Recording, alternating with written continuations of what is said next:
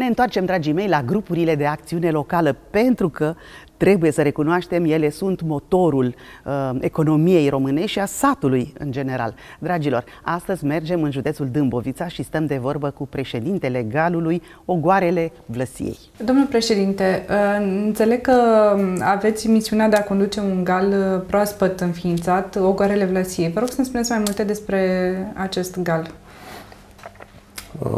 În urma desfințării fostei structuri de pe prima sesiune de depunere a galului, au apărut niște migrații între comune și s-a luat decizia ca să se constituie un gal nou.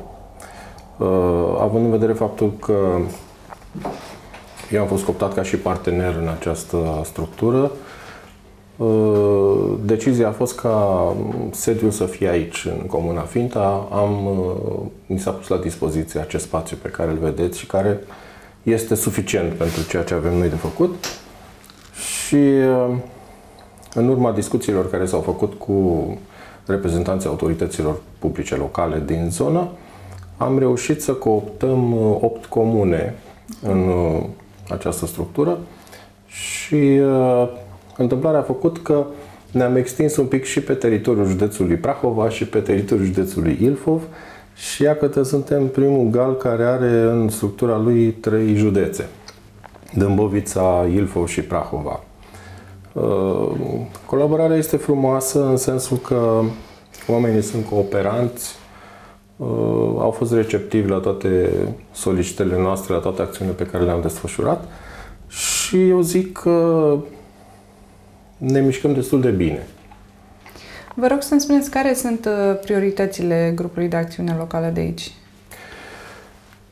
Ca și priorități, în sectorul privat avem uh, o serie de mici întreprinzători în prelucrarea lemnului, uh-huh. care vor uh, să aplice pe măsuri non-agricole. Este o zonă în dezvoltare pe partea asta de prelucrare a lemnului.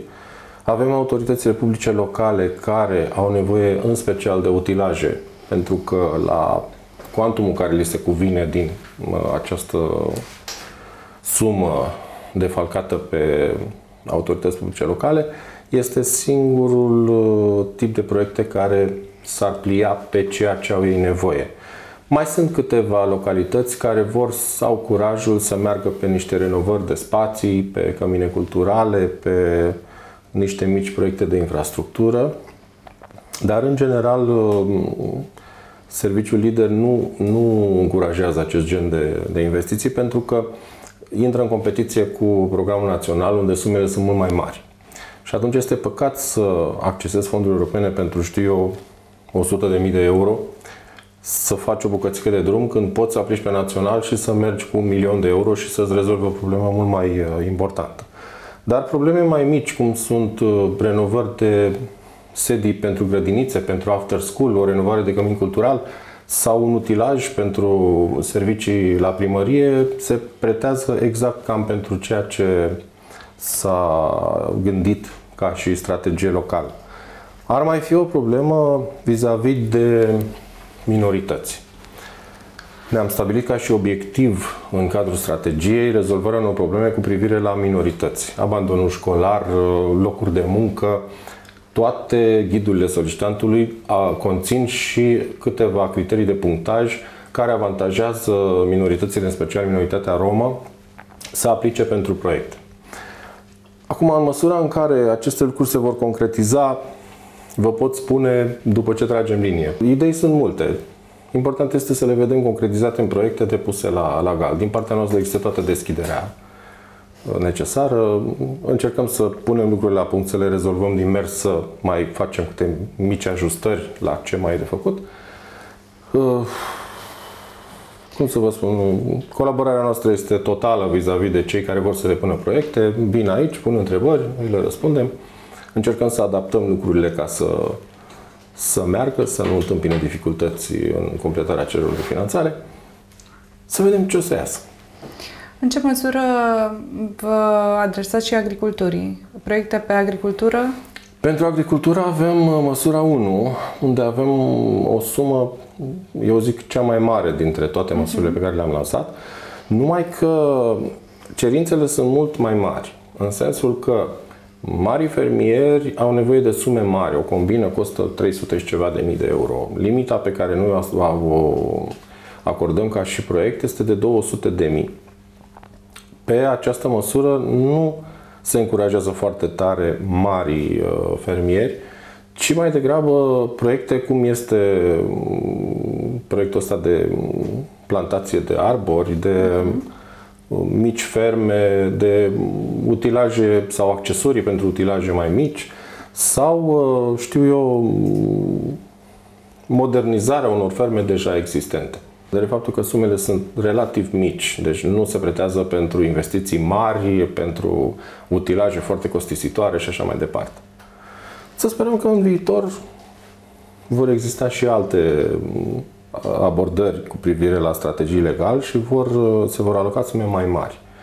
Ce pot eu să vă spun este că la nivel național au rămas niște sume neconsumate pe această strategie, undeva în jurul la 300 de milioane de euro, pe care cei de la programul de la serviciul lider se străduiesc să găsească o cale legală să le redistribuie. Acum, uh-huh. ei au spus că pe măsură ce se vor consuma fondurile de la galuri care au fost prinse pe prima strategie, se va discuta și despre problema realocării acestor sume de bani ca să, rămână, să nu rămână neconsumat. Este o idee foarte bună pentru că vă spun cu certitudine că acești bani se vor termina foarte repede. Deci această sesiune de șapte ani cred eu că din punct de vedere al alocării fondurilor se va, încheie, se va încheia undeva în jurul anului viitor sau cel târziu peste 2 ani. Uh-huh. Pentru că banii sunt foarte puțini și cererile sunt foarte mari. Lumea a început să capete curaj în a aplica pe GAL, pentru că noi suntem mult mai apropiați de, de beneficiarul direct, având în vedere faptul că avem uh, programe de animare a teritoriului, avem întâlniri în fiecare primărie când lansăm un apel de selecție și suntem receptivi la toate cerințele pe care le au uh, potențialii beneficiari și ne pliem strict cu cererile de finanțare și cu ghidurile pentru cerințele pe care le, le au ei în cadrul acestor sesiuni de animare a teritoriului. Față de AFIR, care are un program centralizat și încearcă să se plieze din mers de la o sesiune la alta. Care sunt etapele pe care trebuie să le parcurgă un fermier care se adresează galului de aici, până la momentul în care obține efectiv banii? În primul rând trebuie să participe la sesiunile de animare și să-și manifeste dorința expresă de a aplica pe un proiect, să știe cam ce valoare orientativă va avea proiectul pe care vrea să-l depună și să se puncteze cu noi vis-a-vis de cerințele care sunt prinse în strategie și la care se pot face discuții, pentru că sunt cerințe fixe care țin de regulamentele europene, care nu pot fi schimbate sau adaptate după cerințele lor. Dar sunt și anumite cerințe care pot, uh, pot fi modificate în avantajul lor. După care uh, așteaptă lansarea apelului de selecție și contactează un consultant, depune un proiect, vine la noi, noi facem evaluarea cu experții noștri și în funcție de uh, sumele alocate, eu zic că în maxim 20-30 de zile ajunge la fir și semnează contract. Ce sumă veți avea alocată pentru următorul exercițiu financiar?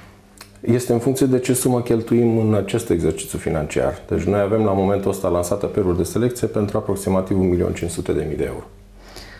Care credeți că va fi nivelul de absorție a fondurilor europene la nivelul galului? 200%. Oh, sună foarte bine, nu? Deci cererile sunt mai mari decât oferta la momentul uh-huh. ăsta. Pe ce măsură credeți că vor fi cele mai multe proiecte? Păi, în primul rând, pe măsura 5 pe publici, care știu foarte clar ce vor și care s-au pregătit din timp și vor depune în mod sigur, dacă nu 8, cel puțin 7 din cele 8 primării vor depune proiecte. Uh, pe măsura 1, pe uh, fermieri, acolo iarăși banii sunt ca și dați.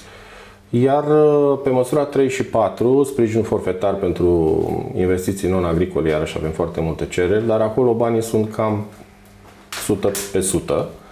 Și mai avem uh, o măsură pentru investiții non-agricole cu plafon de 200.000 de euro, unde probabil că va rămâne o sumă foarte mică ceva. Avem o măsură pentru sprijinirea activităților asociative, uh-huh. unde nu s-a manifestat așa de mare interes vis-a-vis de ce vor ei să promoveze pe măsurile asociative, iarăși de acolo se vor muta probabil niște bani pe ceea ce va rămâne nefinanțat, probabil măsura 1 sau măsura 3 sau 4, pe linie de galuri, pentru că sumele sunt foarte clar stabilite prin bugete și nu poți să faci oricând modificări, rectificări de buget, în plus că nici n-ai de unde să le faci, care înseamnă să tai din salarii, să tai din utilități și n-ai cum.